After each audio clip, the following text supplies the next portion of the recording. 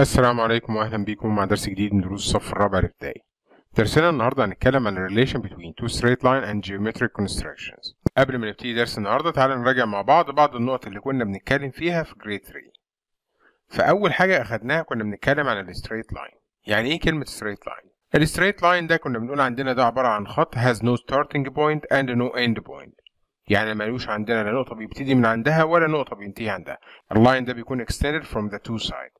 بيمتد من عندنا من اليمين وبيمتد من الشمال.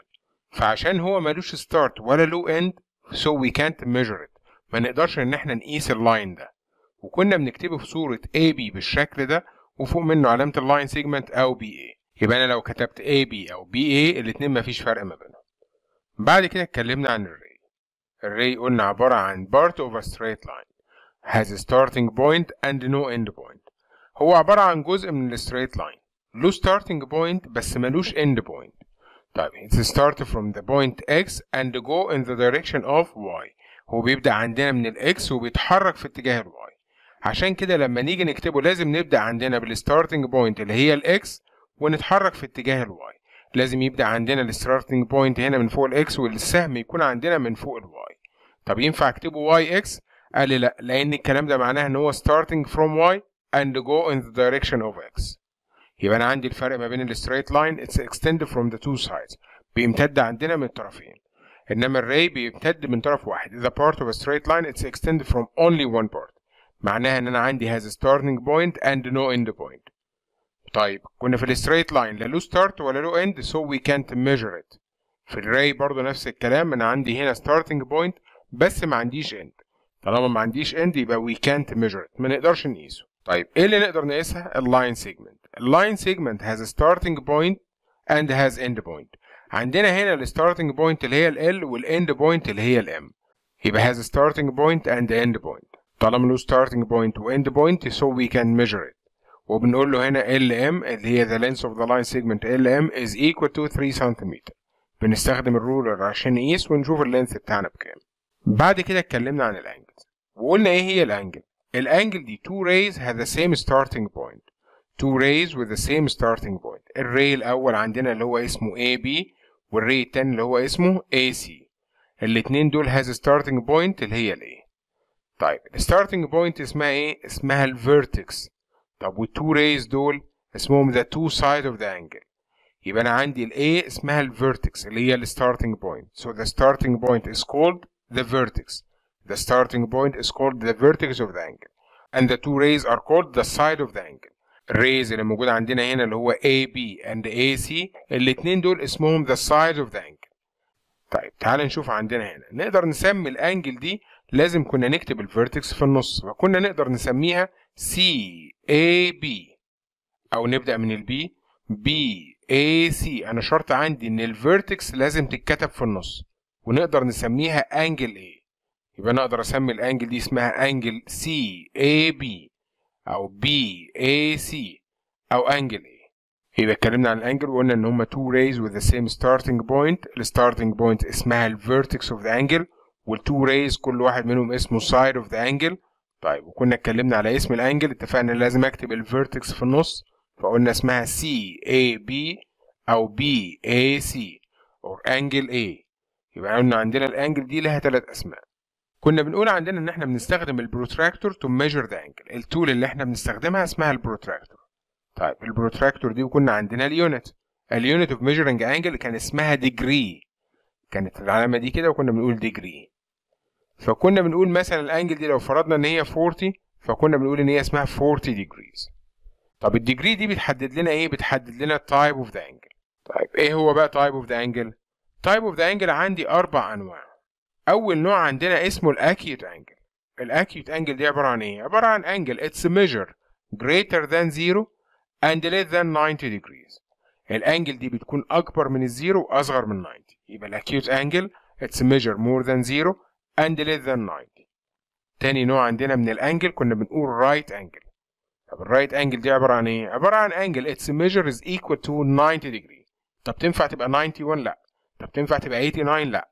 ال right angle لازم تكون ب 90 degree. طب ال acute angle أي number أكبر من ال zero أصغر من 90 طيب يبقى أنا عندي هنا تالت نوع عندي اسمه ال obtuse angle طب ال obtuse angle دي عبارة عن إيه؟ عبارة عن any angle. Its measure greater than 90 and less than 180 أي angle يكون ال measure فيها أكبر من 90 وأصغر من 180 يبقى أنا لغاية دلوقتي قلت ثلاث أنواع.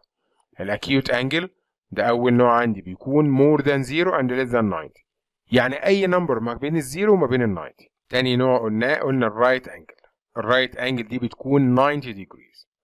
تالت نوع قلناه اللي هو ال obtuse angle ال obtuse angle دي بتكون أكبر من 90 وأصغر من 180 آخر نوع عندي اسمه ال straight angle وبيكون 180 degree. يبقى أنا عندي two angles لهم measure محدد اللي هما ال right وال straight ال right بتكون 90 degree وال straight angle بتكون 180 degrees. إنما ال acute angle وال obtuse angle ال acute بتكون more than 0 and less than 90 ال obtuse أي number بيكون more than 90 and less than 180 طيب تعال نبدأ في درس النهارده ونبدأ أول relation ما بين ال two lines أول relation عندنا ما بين ال two lines اسمها two intersecting lines. two intersecting lines يعني بتكون two lines مرسومين بالشكل ده وبيتقابلوا مع بعض في point واحدة هنا. هنلاحظ عندنا إن هما بيعملوا ال letter زي اللتر X كده. طيب ال two lines دول اسمهم intersecting line فنقدر نقول عندنا إن ال line AB and the line CD are two intersecting lines. ال line AB مع ال line CD are two intersecting lines. طيب الاتنين عملوا intersection زي ما إحنا قلنا في point واحدة. طب ال point دي اسمها إيه؟ يبقى ال point اللي بيعملوا فيها intersection اسمها intersection point أو point of intersection. طيب ناخد بالنا من حاجة مهمة مع بعض.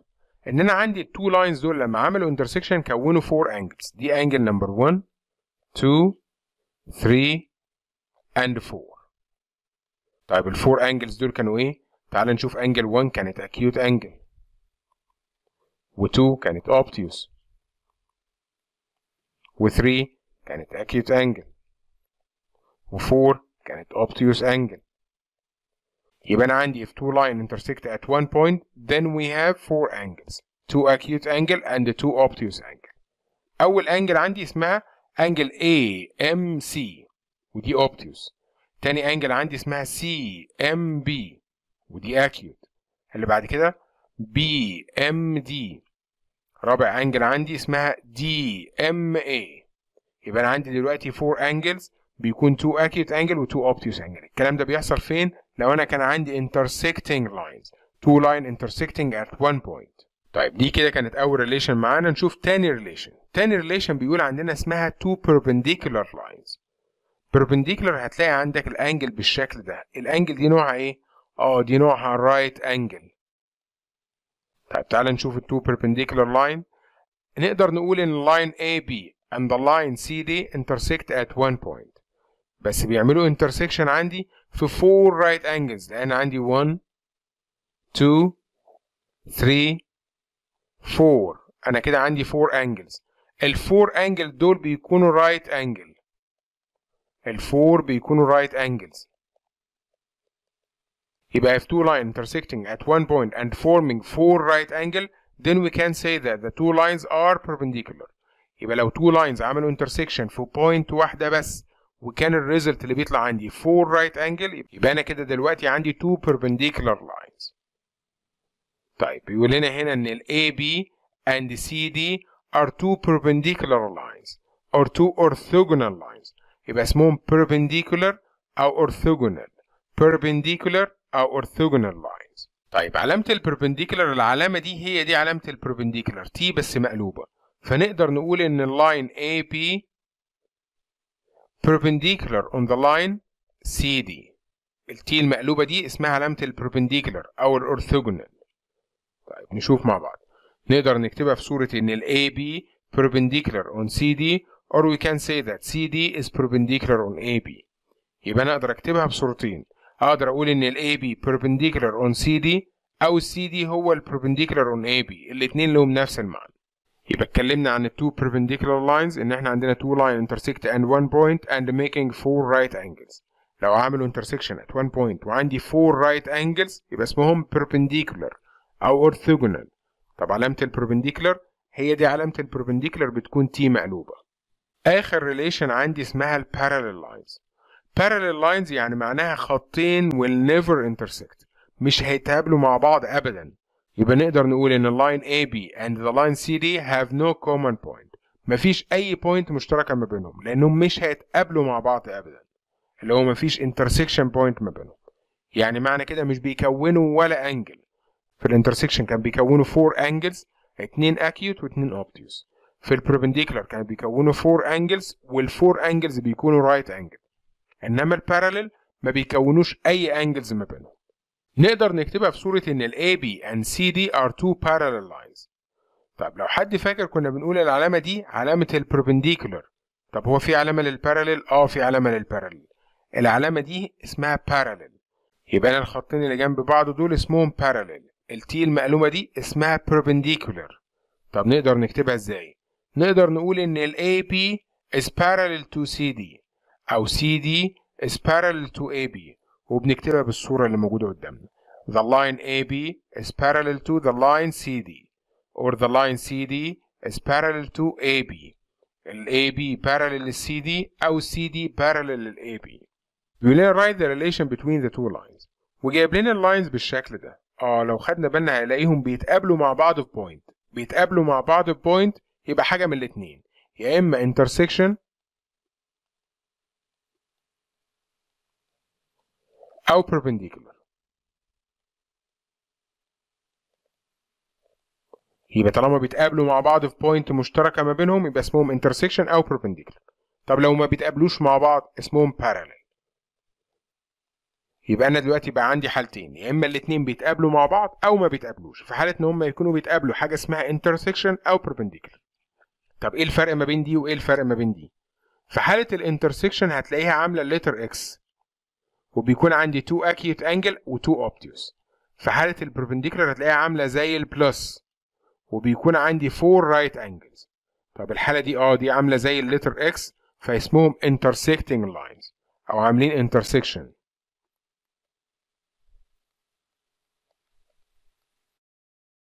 طيب نشوف مع بعض اللي بعدها. آه العلامة اللي بعدها زي ال plus اتقابلوا مع بعض في point واحدة اسمها perpendicular أو orthogonal.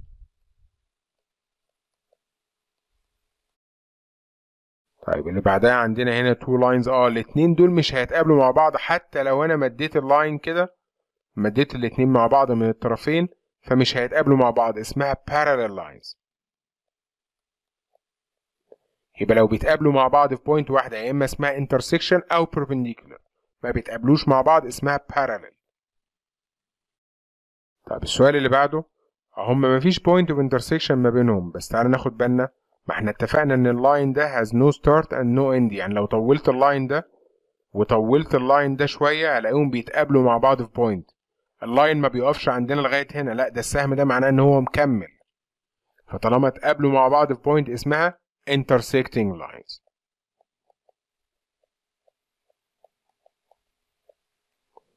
طيب نشوف اللي بعدها. آه لو خدت بالك إن أنت لو طولت ده شوية هلاقيها عملت علامة ال plus اللي هي ال right angle طالما right angle يبقى اسمها perpendicular.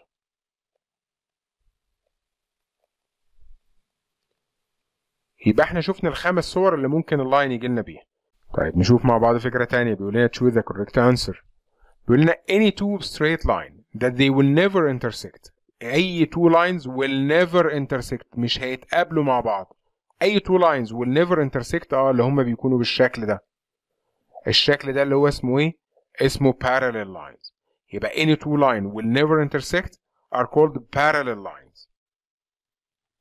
any two line intersect at point and make four right angle آه انت بتقول لي إيه four right طب ما إحنا اتفقنا طالما هيعملوا intersection مع بعض يا اما بيكون letter x أو علامة البلس علامة ال plus اللي بيكون فيها ال right angle كان اسمها perpendicular يبقى two lines are perpendicular the two intersecting line intersect at آه لو عندي two line بيعملوا intersection بيعملوا intersection في one point ولا في two points ولا في zero point لا أنا عارف ان ال two lines لما بيترسموا مع بعض بيعملوا intersection فين في only one point اي two lines هنرسمهم عشان يعملوا intersection بيعملوا intersection في one point بس the two parallel line intersect at لو أنا عندي هنا two parallel lines طب تعالى نرسمهم آه two parallel lines ما أنا عارف ان دول they will never intersect وإحنا لسه قايلين never intersect يعني ما بيعملوش اي intersection يعني بيعملوا intersection في 2 point ولا 0 point ولا 1 point ما إحنا قلنا ان هما never intersect never intersect يعني zero point ما بيتقابلوش مع بعض في اي point يبقى لو two intersecting lines سواء اذا كانوا intersection أو perpendicular بيعملوا intersect at one point انما لو parallel line بيعملوا intersection at zero point The two intersecting lines make how many angles اي two line بيعملوا intersection سواء اذا كانوا intersecting أو perpendicular بيعملوا four angles يعني لو كان عندي intersecting lines بالشكل ده بيعملوا 4 angle 1 2 3 4 حتى لو كانوا perpendicular حتى لو كانوا perpendicular 1 2 3 4 يبقى the two intersecting lines make 4 angles ال two lines اللي بيعملوا intersection بيعملوا 4 angles امال إيه الفرق ما بينهم في ال intersection بيعملوا 2 acute و 2 obtuse إنما في ال orthogonal أو ال perpendicular بيعملوا 4 right angle. If one angle at the intersection point of two lines is acute آه إحنا اتفقنا لو كان عندي angle واحدة ب acute يعني معنى كده إن ال two lines دول إيه perpendicular ولا intersecting ولا parallel طالما عملوا angle يبقى not parallel خلاص. لأن عارف في ال parallel ما بيعملوش أي angles يبقى حاجة من الاتنين. يا perpendicular يا اما intersecting and not perpendicular طيب إيه الفرق ما بينهم اتفقنا ان ال perpendicular four right angles انما ال intersecting and not perpendicular بيكون two acute angle و two obtuse angle يبقى أنا عندي هنا if one of the angle is acute يبقى معنى كده ان هما intersecting and not perpendicular if one of the angle is obtuse يبقى intersecting and not perpendicular if one of the angle is right يعني معناها ان هما perpendicular if one angle of the intersection between the two line is right آه إحنا لسه قايلينها لو كان عندي الأنجل دي كانت right يبقى اوتوماتيك عارف إن هما perpendicular. نشوف مع بعض فكرة تانية في السؤال اللي قدامنا ده بيقول لنا complete.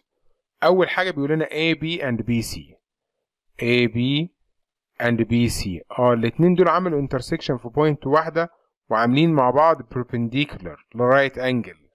بعدها بيقول لي AB and YZ AB and YZ آه الاتنين دول لو أنا حتى مديتهم will never intersect will never intersect يعني parallel lines XY and BC XY and BC اللاينز دي لو أنا طولتها هلاقيهم parallel lines لأن هما مش هيتقابلوا مع بعض AY intersect BZ at the point AY intersect BZ at the point لو أنا طولت الاتنين دول مع بعض هلاقيهم بيعملوا intersection في point اسمها إيه في point اسمها C. YC فين ال YC ادي ال YC intersect مع ال BX طب ما أنا محتاج أطول ده ومحتاج أطول ده هطول ده كده لفوق ونطول ال YC الناحية التانية. فهلاقيهم الاتنين عملوا intersection فين؟ عند ال point A. تعال نشوف مع بعض فكرة جديدة. بيقول لنا هنا draw a perpendicular from a point belong to the straight line. إزاي ان إحنا نرسم perpendicular لو أنا عندي line بالشكل ده وعاوز ارسم من عندي ال point C perpendicular. أول tool بنحتاجها محتاجين ال ruler اللي عندنا. بنيجي بنحط ال ruler بتاعتنا على ال line اللي إحنا عاوزين نرسم من عليه ال perpendicular يبقى أنا كل اللي أنا بعمله بنحط ال ruler عندنا على ال line AB ونثبتها.